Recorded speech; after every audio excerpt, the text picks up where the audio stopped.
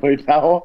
Nada, nada, gracias, güey. Gracias por invitarnos. Felicidades por los 150 programas, bueno, 150 episodios. Muchas gracias. Y, y no, pues nada, al contrario, que estamos para tus órdenes.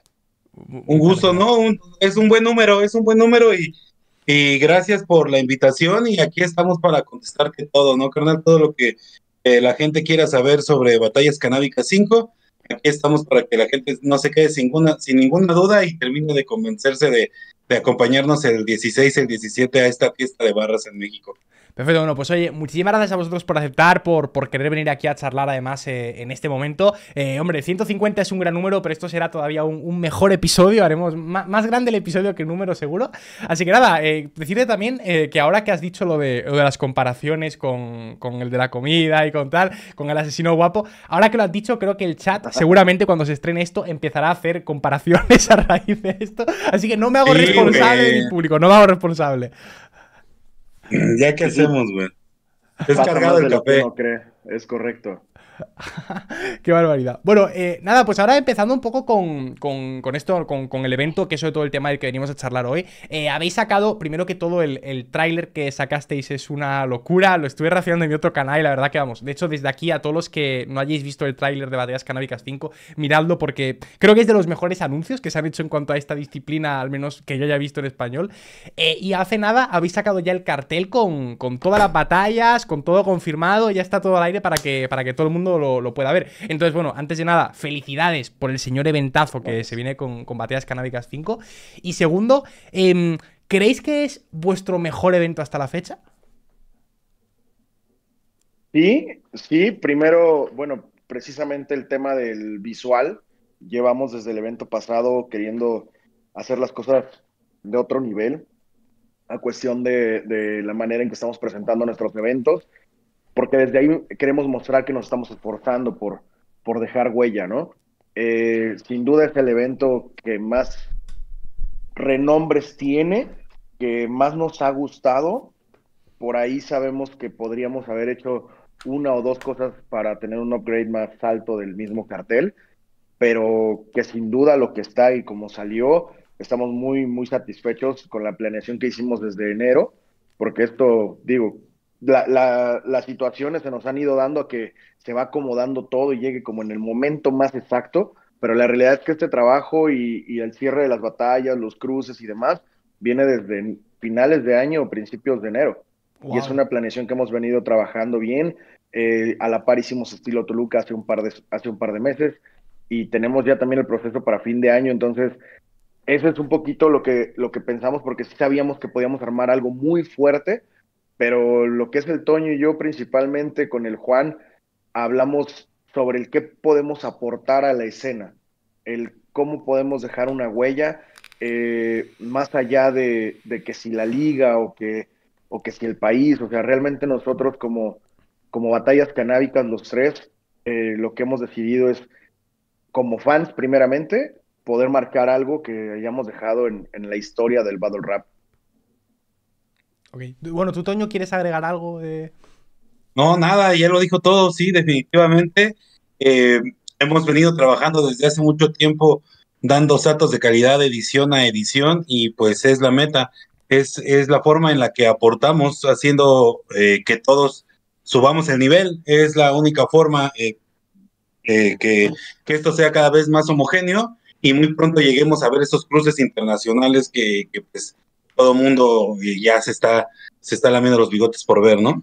Yo es que además, eh, ya os digo, sin, sin tanto em, conocimiento, que siempre lo digo, pero todavía no me considero ni mucho menos un experto en, lo que son batallas quietas, pero sí que es verdad que de otros eventos que he visto eh, vuestros, eh, creo que lo que es el nivel después de la batalla, de las barras y, todo lo que se hace ahí, ya habéis tenido eventos con muchísimo nivel, pero sí que creo que este, seguramente a la espera de, cómo acabe siendo, ¿no? Lo que es el cartel, los nombres, sí que seguramente es el más, el más impactante, ¿sabes? El más, bueno, todo, todo lo que hay ahí prácticamente toda la lista es, es una locura. O sea, individualmente cada batalla podría ser un cabeza de cartel prácticamente. ¿Sabes qué? Creo que es una gran diferencia, un, perdón, Tavo, eh, que ya, ya se, ya como, como liga, eh, ya se pagó piso, brother, para que ya nadie venga a dudar que es una gran, plataforma de batallas canábicas y que no puedes perder aquí porque te va a ver todo el mundo. Eh, en Batallas Canábicas 3 tuvimos ahí algunas batallas con un par de stumbles, güey, de gente con nombre muy importante, pero que no llegó confiando en que Batallas Canábicas eh, se estaba convirtiendo en una, en una liga top de, México. Y pues eh, sí sentimos que, llegaron eh, como a, medio gas. También en, en Batallas Canábicas 4, al inicio del cartel, tuvimos por ahí algunos participantes con un par de stumbles. Pero justo ahora, entre todos, como dice Tavo, desde enero que se empezó la planeación, buscamos, ayer lo decía Tavo, gente que estuviera en, en su momento. Eh, entonces, eh, todos los nombres que ve la gente en el cartel son nombres que saben perfectamente que batallas canábicas el día de hoy ya es una realidad, que van a estar en los ojos del mundo y que sin duda son batallas que van a mover el ranking, ¿no? Entonces, yo creo que eso es algo muy importante y por lo cual creemos que definitivamente es nuestro mejor, nuestro mejor evento, porque estamos 100% seguros que toda la gente va a llegar preparada a full, ¿no? Ya como podrán pasar eh, pues cosas por fuera, ¿no? Eh, los nervios, eh, lo que pasa el día, no sé, ¿no? Un chingo de cosas, pero sí siento que cada nombre que está en ese flyer está comprometido a más del 100% con dar un gran papel y que todos saben lo que puede ser y lo que puede significar hacerlo bien en batallas canábicas. Totalmente. Totalmente no. Creo que, creo que es muy importante. Me, me mola mucho también todo lo que estáis hablando de todo el progreso y toda la, evolución que está teniendo el proyecto. Y de hecho, vamos, esto eh, me da pie una pregunta justo que quería haceros. Que es, em, ahora eh, pues estamos viendo todo el crecimiento que ha tenido la liga, eh, este pedazo de evento que, que, se viene dentro de nada y que creo que va a acabar explotando ya todo. Quería preguntaros, yendo un poco al origen, eh, ¿cómo fue el comienzo de, batallas canábicas y por qué decidisteis meteros como, como eso, ¿no? Como en este proyecto de, batallas escritas. Pues es que, mira, hay, hay, eras de batallas canábicas. Eh, empezamos en 2018. El primer evento era totalmente un, un evento, no, no era no se estaba pensado que existiera una liga. Batallas Canábicas 1 existe para festejar el, aniversario del Club Canónico Suchipili. Eh, ya veníamos trabajando con, con Eptos, con la Verdad y con Speed MX en patrocinios de, de cierta forma y pues tuvimos la oportunidad de que nuestro primer evento se subiera al, canal de Speed MX, brother, ¿no? Entonces, obviamente después de que Eptos dejó claras eh, ciertas cosas en cuanto a calidad, en cuanto a, ¿sabes?, a, tipo de rounds y así, eh, después de ahí nos abrió las puertas justo para que más gente nos conociera. Esa era la idea, que a través de Speed más gente se enterara de quién era Club Canábico Xochipilli. Todo nos sale muy bien. Eh, recibimos muy buenos comentarios al punto que, decidimos en, ese momento para, para terminando Batallas Canábicas 1, eh, pues ya tomarlo de manera seria, ya Juan y yo como equipo en ese momento. Eh, le damos dos años, luego viene la pandemia, regresamos y regresamos a encontrarnos con Pisa y Corre, brother, que es nuestro sponsor principal al día de hoy, con el, con el cual trabajamos dos años eh, de manera cooperativa, al punto de que hace eh, un poco más de un año ya Tavo se une a nosotros como un socio. Eh, aparte de, de, Pisa y Corre, que sigue siendo nuestra marca y nuestro sponsor, ahora también Tavo es parte de la organización de batallas canábicas y yo creo que va la onda mucho por ahí. Entonces, de ahí empieza todo, brother, como una fiesta, como un aniversario. Eh, vemos que hay un hueco en la escena, vemos que hay mucho talento, pero que en ese momento definitivamente las ligas eh, que estaban eh, haciendo batallas no tenían espacios para esos nuevos talentos. vimos un mercado, un espacio, ya sabíamos hacer eventos por, por lo que veníamos trabajando con Club Canábico Suchiquili y pues decidimos eh, darle a ese hueco. Llegamos a Pisa y Corre y nos encontramos con Tavo, que ya venía también eh, de un trabajo en producción de eventos mucho más grandes, eh, haciendo cosas también para el espectáculo, y pues, ¿sabes? se convirtió en una fórmula, pues hasta el día de hoy perfecta, ¿no, brother? Cada uno en, en, su espacio, en su talento, haciéndolo de lujo. Ah, y pues aquí nos tienes, brother, ¿no? El día de hoy, eh, hombro a hombro con, con las ligas que, que, hicieron que México eh, pues sea visto como, como un como pues, una en, en, nuestro idioma.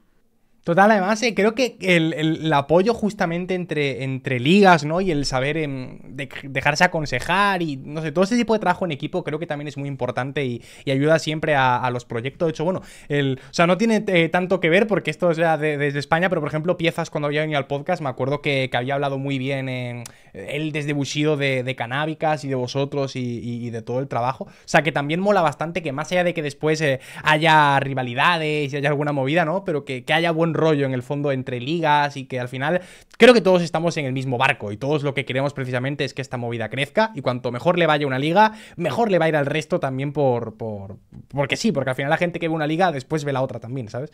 Entonces, bueno, creo que todo muy bien.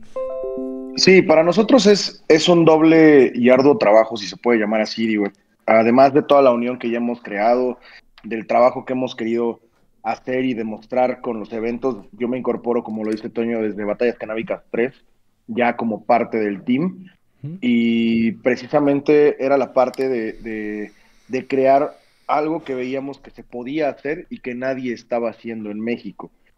Eh, tomar toda esa escena que, que, se paró durante muchos años, que si bien sabemos que en México había dos ligas muy fuertes y muchas son ligas under, las fuertes dejaron de trabajar por X o Y situación y en el caso de nosotros tomamos como esa rienda de trabajo que, que quedó ahí para la escena y que bueno, fuimos y hemos sido muy, muy afortunados de que la rueda siga girando y bueno, se activaron las, las escenas de otros países.